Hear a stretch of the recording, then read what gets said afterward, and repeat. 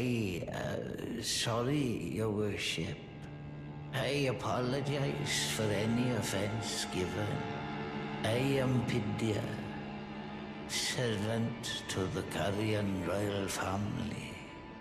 I am charged with maintaining these ghastly dolls. Ah, your worship, allow me to be of use.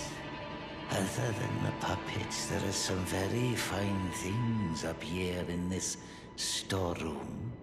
Why not pick something out before you go? But please, can you offer poor ill-starred Pidia a little something by way of compensation?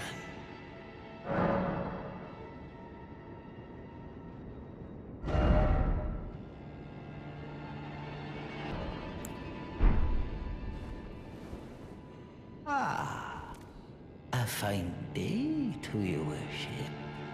Please choose whatever you like.